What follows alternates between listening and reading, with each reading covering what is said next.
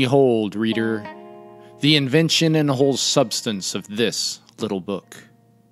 In memory of the event, I am writing down for you the sentence in the words from that moment of conception The earth's orbit is the measure of all things. Circumscribe around it a dodecahedron, and the circle containing this will be Mars. Circumscribe around Mars a tetrahedron, and the circle containing this will be Jupiter. Circumscribe around Jupiter a cube, and the circle containing this will be Saturn. Now, inscribe within the earth an icosahedron, and the circle contained in it will be Venus. Inscribed within Venus an octahedron, and the circle contained in it will be Mercury. You now have the reason for the number of planets. With these words, Johannes Kepler began his slender book with the improbably long title The Introduction to the Cosmographical Essays, containing the cosmographical mystery of the marvelous proportion of the celestial spheres and the true and particular causes of the number, size, and periodic motions of the heavens, demonstrated by means of the five regular geometric bodies more commonly known by its abbreviated Latin title, Mysterium Cosmographicum, the work was a realization of Kepler's desire for a harmonious creation as found in the geometry of the Platonic solids. It brought his name into the circles of learned men who found his ideas intriguing, even as they were on the periphery, and made him known to some of the most well known astronomers of his time. It was, perhaps, the first true work of astrophysics, written by a man who was paid to cast horoscopes. It was also very, very wrong. Yet, somehow, even in its unrealized error, it pushed Johannes Kepler in all the right directions. For the first time, a Western thinker attempted to bridge the gap between the whats and hows of celestial motion and the whys. For the first time, Someone was no longer content to merely build models, instead, seeking for the forces that drove them. As Owen Gingerich has said, quote, Seldom in history has so wrong a book been so seminal in directing the future course of science.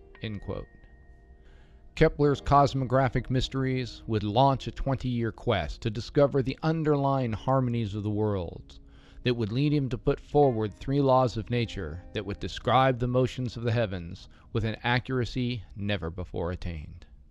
More than that, Kepler would be among the first to attempt to unify the forces that cause motion on the earth with those that cause them in the heavens, thus obliterating a distinction that had been in place for almost 2,000 years. Hello, and welcome to the Scientific Odyssey.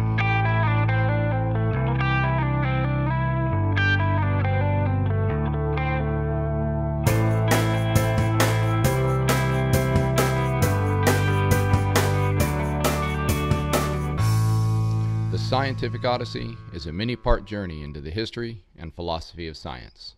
My name is Chad Davies, and I'm the writer, host, and producer of the podcast, where we consider the ideas, processes, and results of over 2,500 years of scientific inquiry and discovery. Series 3 Finding Our Place, Episode 16 The Harmony of the Worlds.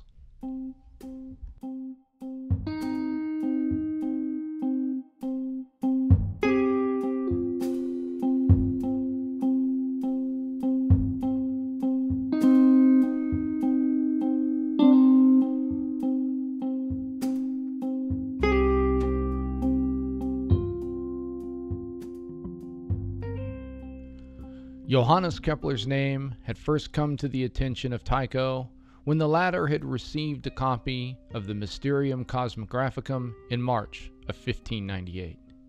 It came at the same time of another book, Ursus's Fundamentum Astronomicum, wherein Brahe's rival claimed to have been the originator of the Tychonic system. Fortunately for Kepler, Tycho set aside his anger about Ursus's plagiarism long enough to give Kepler's work a fair read, and in it he saw the marks of true talent. He also saw both the problem to be solved and an opportunity to be grasped. To understand this, let's take a moment to understand how all this got started. Our narrative this week really begins in Graz in 1595, with the astonished realization of a Lutheran trained mathematician that the heavens were, indeed, a place of Platonic harmony. As is our now familiar custom, We'll save the details of Kepler's life to supplemental episodes, and so we'll just note a few of the relevant pieces here. Kepler had been a pious, central German boy of some remarkable talent who had planned to train for the ministry.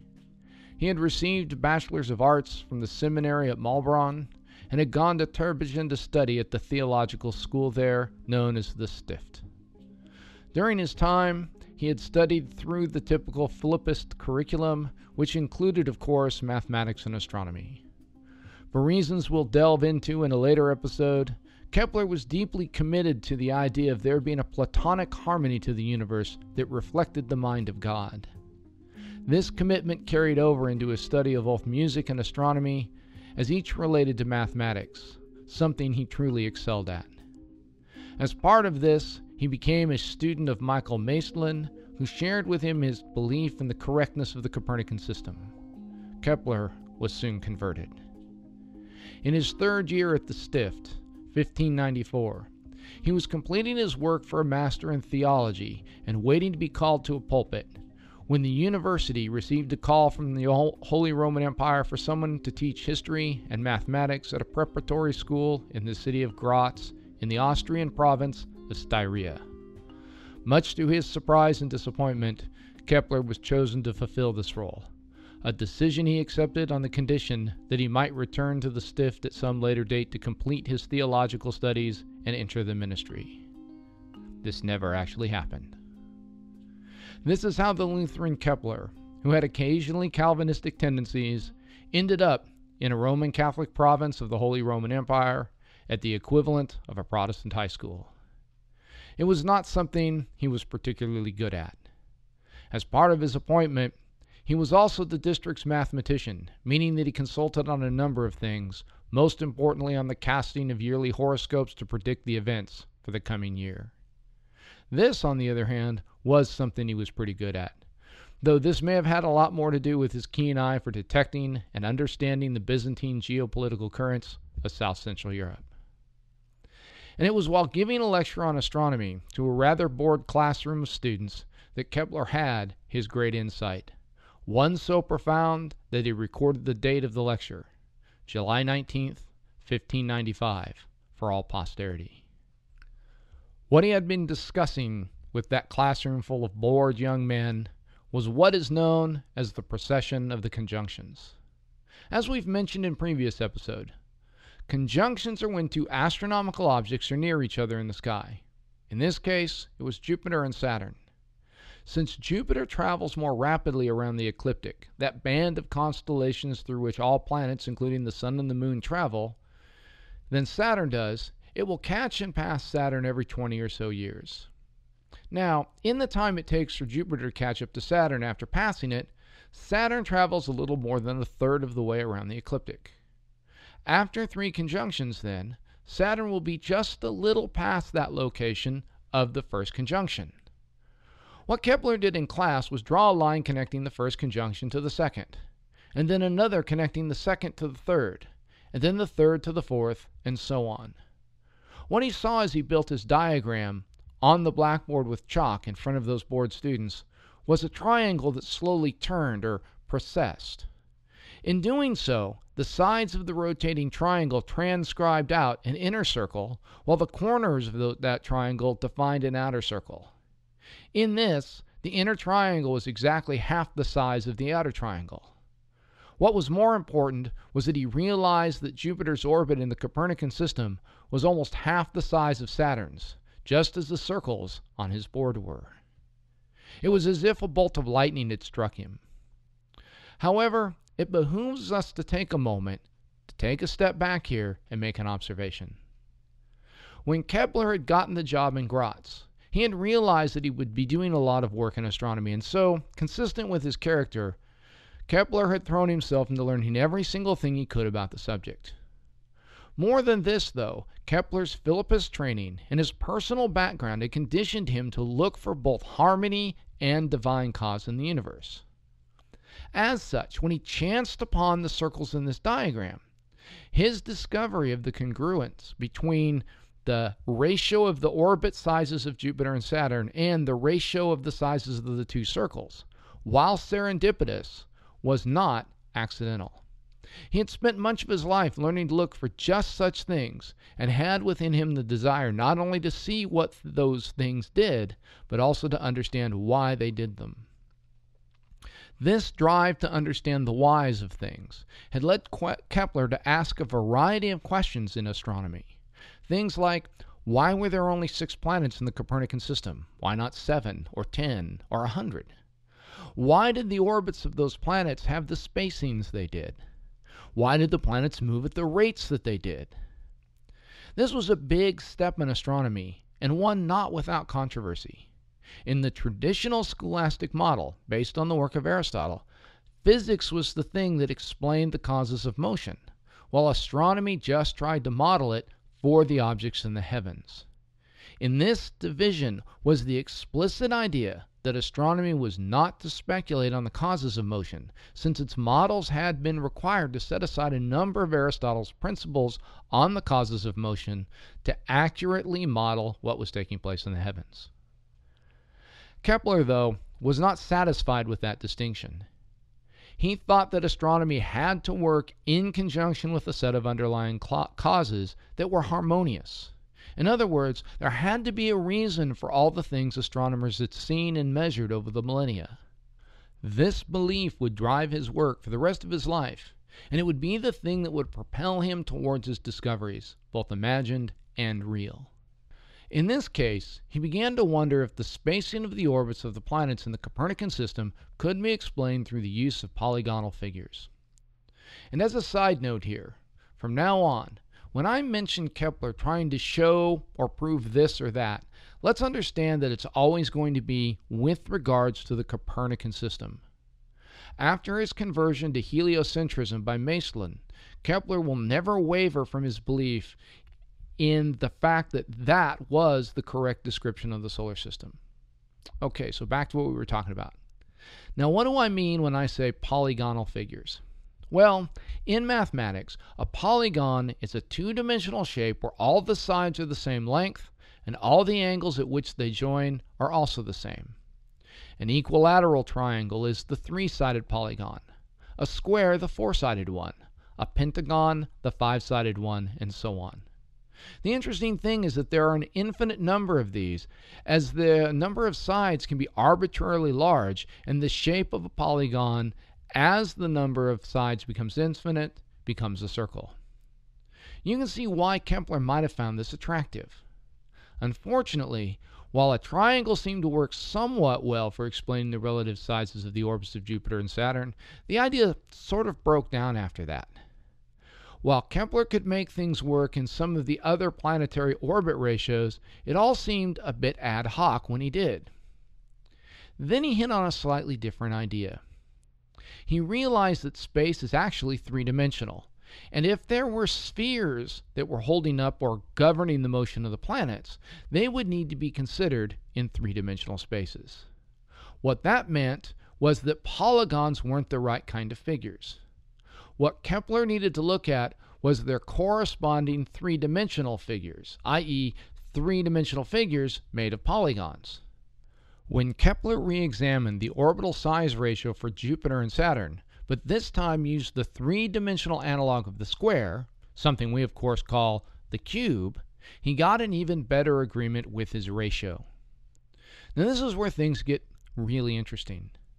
Unlike in the two dimensional case, there aren't an infinite number of these three dimensional figures that have sides that are all polygons of the same type.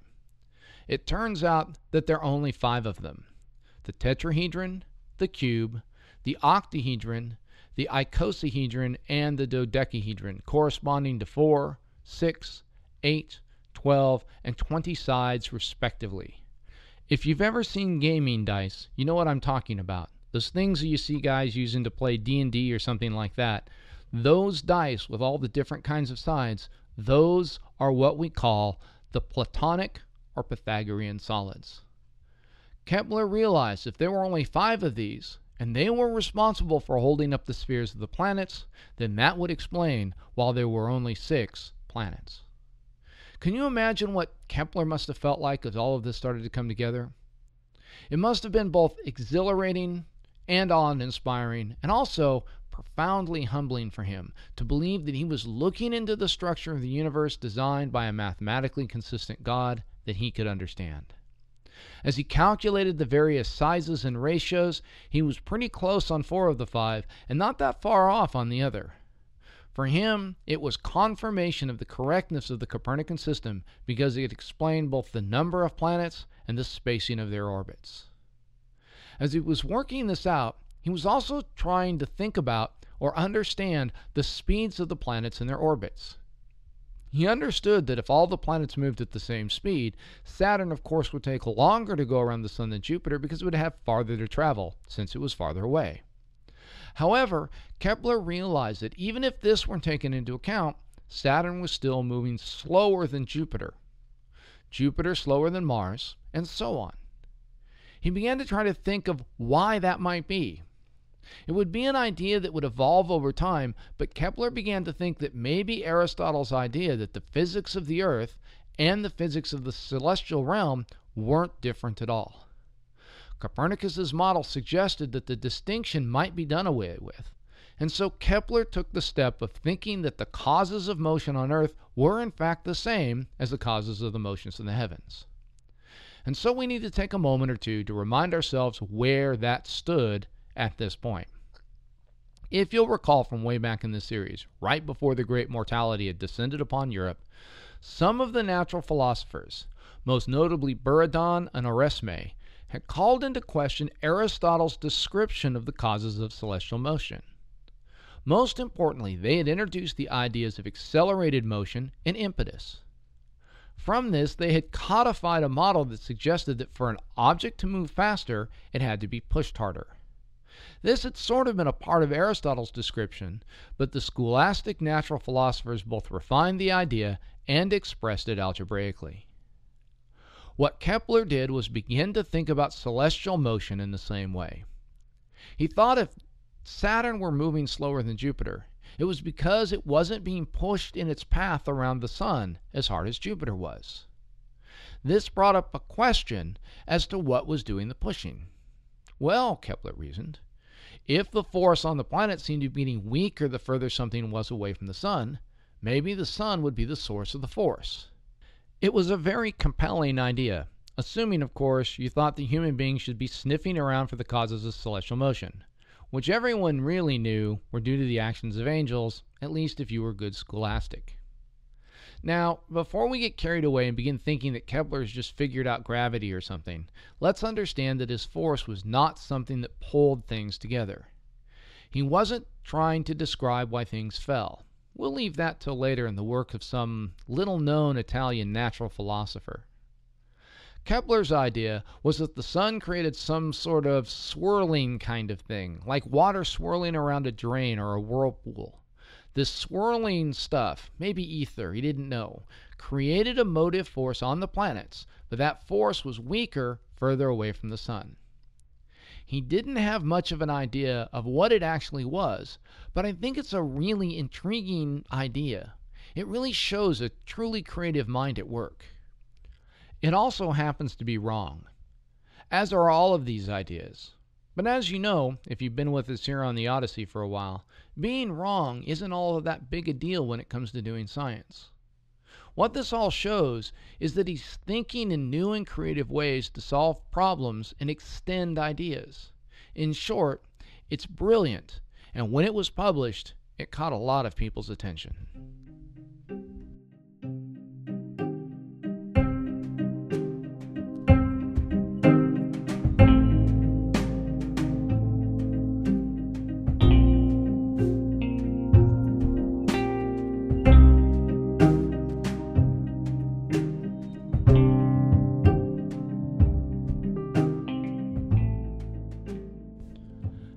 Consulting with a cautious but optimistic Maestlin in 1595, Kepler published the Cosmographic Mysterium with its polyhedral model and his discussion of the various causes of motion. As I've alluded to, while the model was well received, the discussion of the possible physics behind it all was not so positively embraced. A number of scholars, Maestlin among them, chastised Kepler for seeking to understand what drove the motions of the heavens for a whole variety of reasons. Everything from contradicting Aristotle's description of motion to, to presuming to look into the inscrutable reasoning of the divine. For Tycho, however, neither of these things really much mattered. What he saw were three things. First, like everyone else, he saw a brilliant mind, one that could unravel data to fit mathematical models. More on that in a bit. Second, he saw a Copernican who posed a threat. Third, he saw someone who could be used in his escalating flame war with Ursus. Let's take these in reverse order. Kepler, in his desire to gain some recognition and support, had gotten himself involved in the ongoing priority dispute between Ursus and Tycho over who had come up with the Tychonic system. Kepler, of course, had no idea about what was going on, and so, in an instance of flattery, had written a fawning letter to Ursus praising his work. Ursus had used this letter as one of the pieces of introductory material for his book, which had been published after Kepler's book had come out and made a bit of a splash. When Tycho received the two books together, Ursus's and Kepler's, he was able to sort out and sort of put two and two together, and he realized that he had an opportunity to get Kepler to renounce his support of his rival and thus embarrass him if he could bring Kepler into his sphere of influence. The problem with this, of course, is that Kepler and Tycho didn't see eye to eye as to which model of the solar system was the right one. This, however, was a bit of a lesser point, as both men understood that the question would only be settled with data. Data that only Tycho possessed, and at least to this point, declined to publish. Finally, as Tycho moved closer and closer to the court in Prague, he found himself more and more often in want of good assistance. While he had been in Denmark and then in northern Germany, he'd had a regular supply of young university students eager to work with him. However, once he left Hven and traveled further and further south, that stream sort of dried up. He didn't have the same networks established in the Central and Southern European universities, and so when he did get students, they were often rather inferior. In Kepler, Tycho saw a man of true talent. While the time was not quite right in 1598, Kepler would never be far out of the mind of Brahe. For Kepler's part, 1597 was a good year in many respects. His book was well received, his position there was secure, and he married a fairly prosperous widow by the name of Barbara Mueller after a bit of a rocky courtship. This, however, began to change for the worse in 1598, as the forces of the Counter Reformation began making life rather miserable for those in and around Graz who were not of the Catholic faith. While Kepler's position as district mathematician kept him from suffering from the worst of the abuses heaped upon the Protestants in the region, he soon understood that his position there was untenable. Just as Tycho had found himself a bit of a refugee from his own land in 1597, Kepler was unwelcome in his home just a year later. And so would be set the circumstances of the two's eventual meeting. It all took a lot of doing, something that we'll cover in the supplemental episodes. But eventually Kepler was brought on by Tycho as an assistant in around 1600. By this time, Kepler was working on a modification of his polyhedral theory that sought to quantify the relationship between a planet's distance from the Sun and the time the planet took to travel around the Sun one time.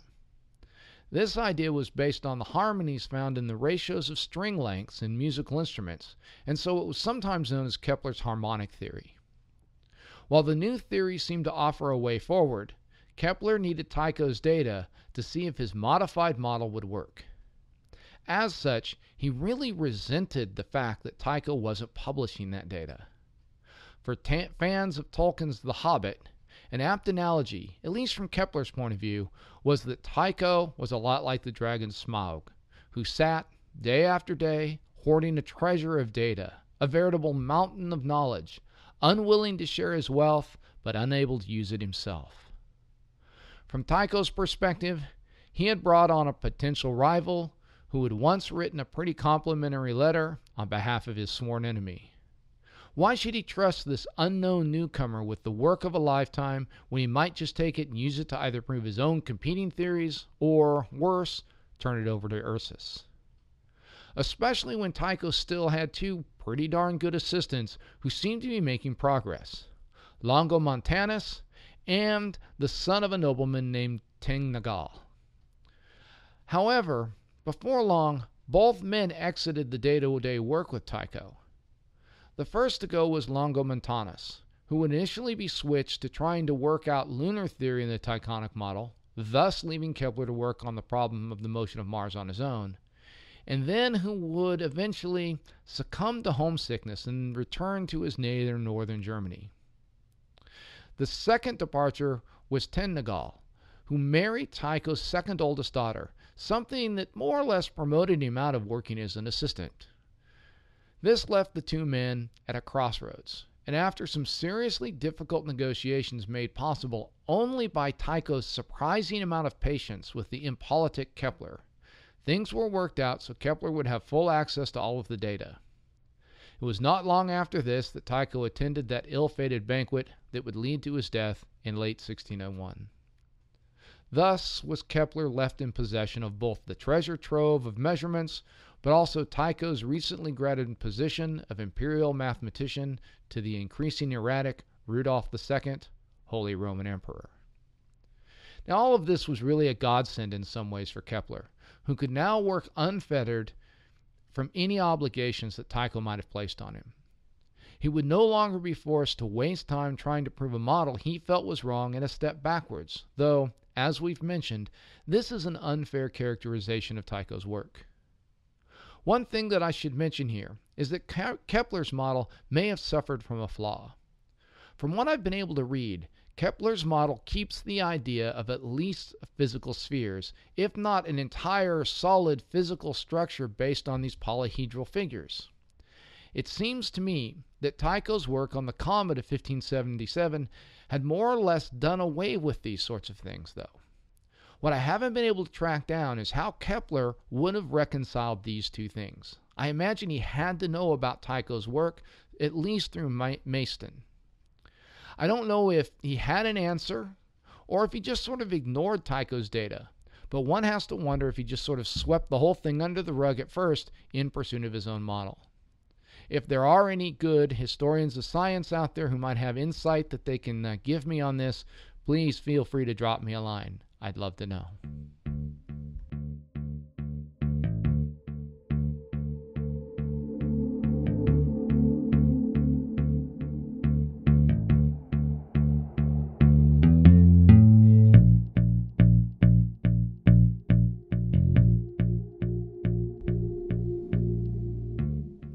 From 1601 to 1605, Kepler worked to try and fit Tycho's data to various descriptions of the motions of things in the heavens.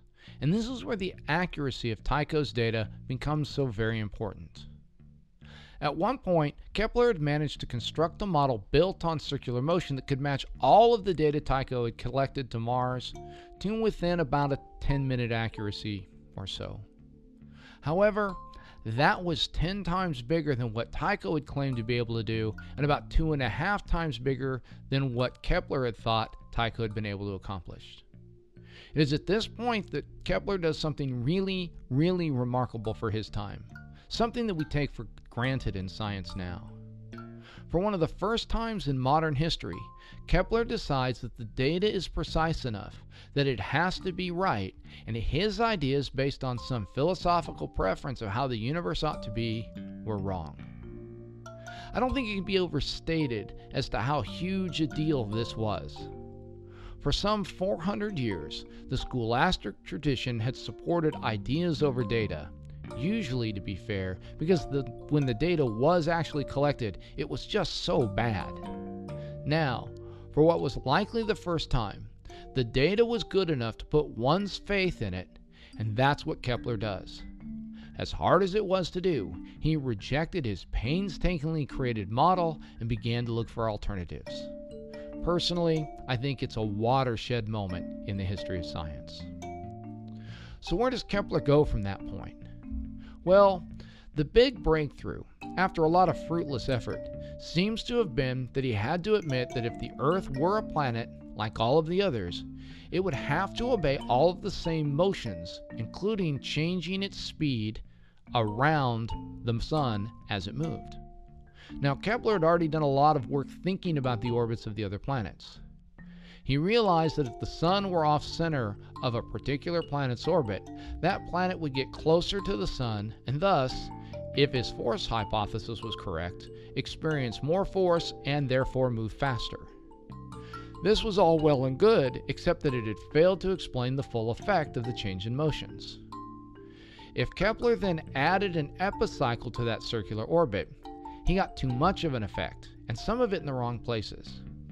Finally, after a lot of calculating and a few algebraic mistakes, he hit on the correct idea. As Apollonius had shown, and Hipparchus and Ptolemy had used, if you put a circular epicycle on a circular deferent, the path of a point on the epicycle through space, if the parameters are set correctly, is an oval of sorts. This is what everyone up to this point had done with the orbit of the moon around the Earth. The problem was is it didn't actually work as well as one would hope, occasionally predicting the wrong day for an eclipse or something like that. The very thing that originally started Tycho down the path of astronomy in the first place. It turns out, though, that there are other ways to create ovals. One of the best understood, again from the time of the Greeks, was a type of oval called an ellipse. Now, there are a couple of ways you can create an ellipse. One is to take a cone, set it on its base, and slice that cone so that the cut is not parallel to the base, but it also doesn't intersect the base. The edge of the slice will have an oval like shape that's called an ellipse.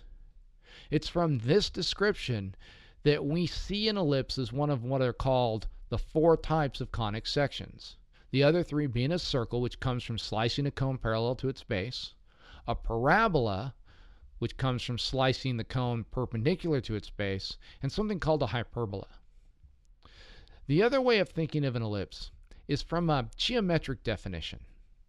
If a circle is the figure of all points in a plane equidistant from a single point, then an ellipse is all the points equidistant from two points in that plane. A good way to think of this is if you draw a circle, what you can do is tie a piece of string around a thumbtack on one end and then your pencil on the other. When the thumbtack is then stuck into a piece of paper, the figure that the string will allow your pencil to draw is a circle. Now let's say we redo that, but this time you tie the string so that one end is attached to one thumbtack while the other is attached to a second thumbtack.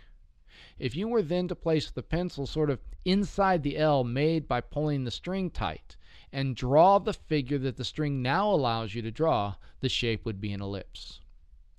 It turns out that the ellipse was between the off-center circle solution and the epicycle deferent solution that Kepler had been working with. He considered it once, but it hadn't worked out.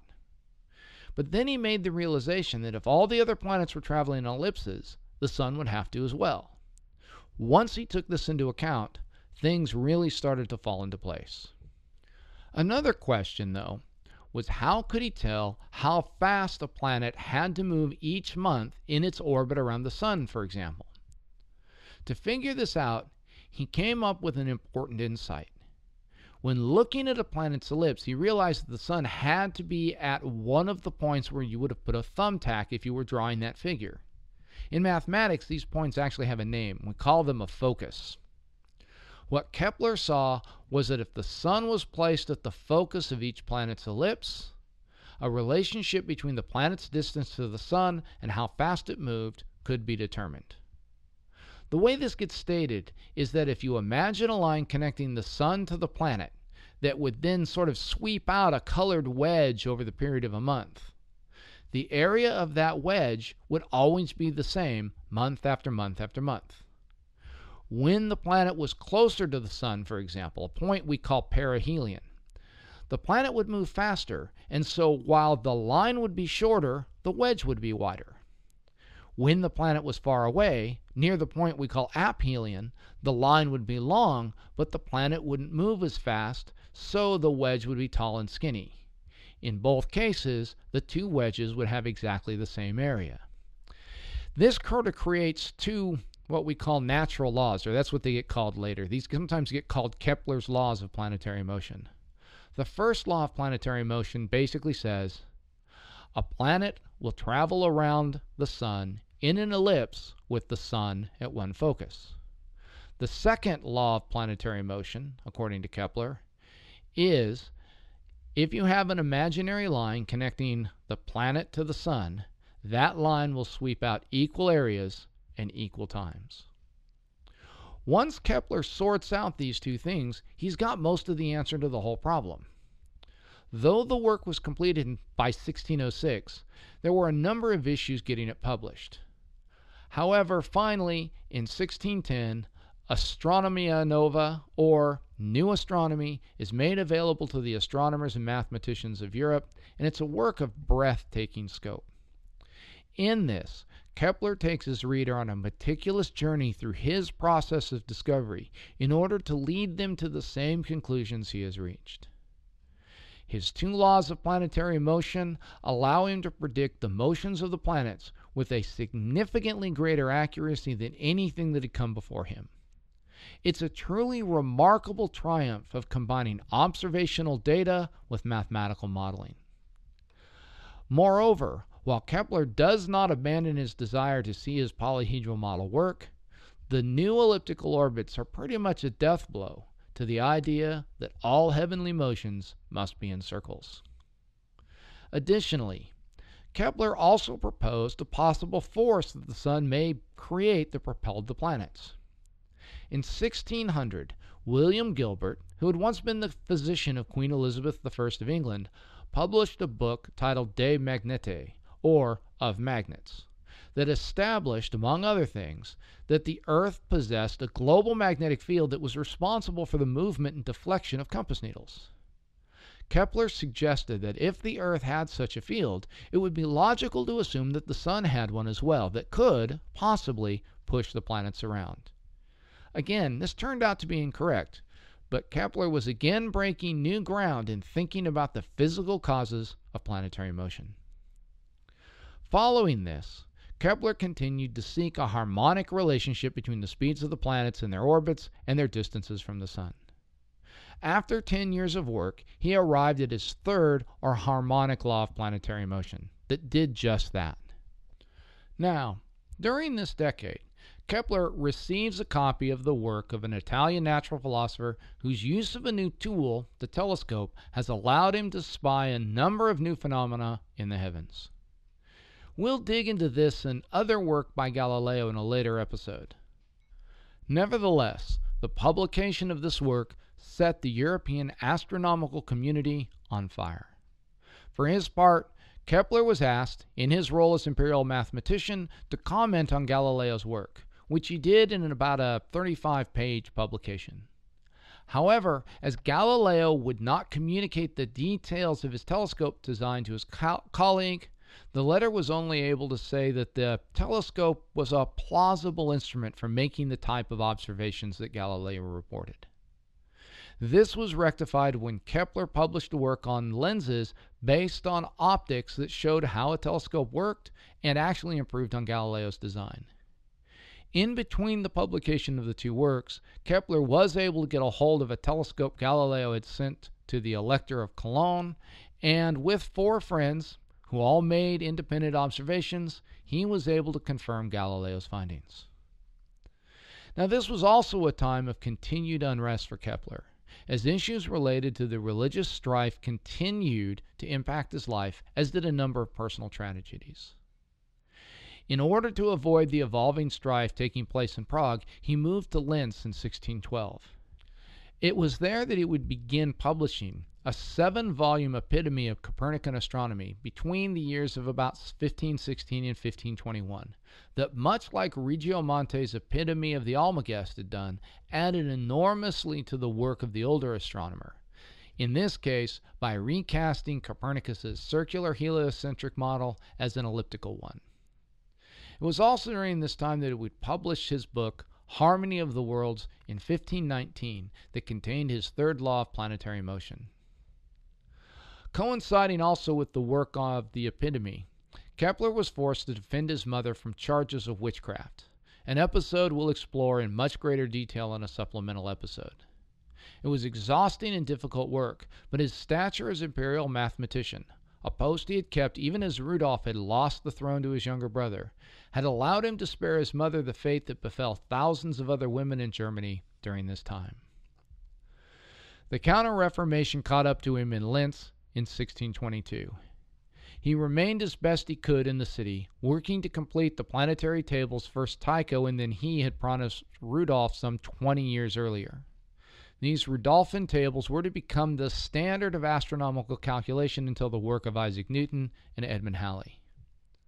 Finally, however, in 1626, things became too difficult in Linz, and Kepler fled once more, this time to the town of Ulm. It was there that he would finish the tables and begin the work of getting them printed, a time consuming task given their complexity. As the work neared completion in 1529, he realized that he would be able to predict two events that had never before been observed, both of which were scheduled to take place in 1631. These were the transits of Mercury and Venus across the face of the Sun. With telescopic observation now becoming more commonplace, Kepler realized that the accuracy of his tables could be trusted when they said that on certain given dates the two planets would cross the face of the sun and thus could be observed. Unfortunately, Kepler wouldn't live to see whether his predictions came true. In 1630, he would travel first to Leipzig and then to Regensburg to take care of a variety of matters. On the leg to Regensburg, he came down with a fever that soon worsened. On November 15th, he took his last breath after confessing his faith and receiving last rites.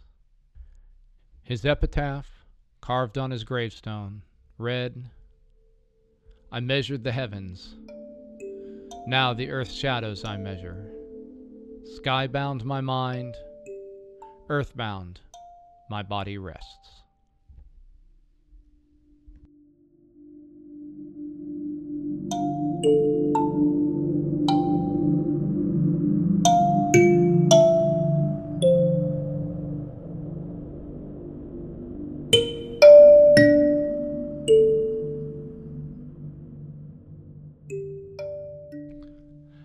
Come to the end of this portion of our narrative, let me sketch out the journey forward. Next week, I want to say a few words about the story of Giordano Bruno and how it fits into the broader narrative of the evolving religious landscape of Europe, as that will have a good deal of impact on our story going forward. Following that, we will look at the scientific work of Galileo both in natural philosophy and in his use of the telescope. This will mark a bit of a natural breaking point where we can go back and do a series of biographical episodes on both Kepler and Galileo that will take a number of weeks. In the middle of all of that, somewhere, we'll fall our 100th episode. And as I've said, I'd like it to be a question and answer show.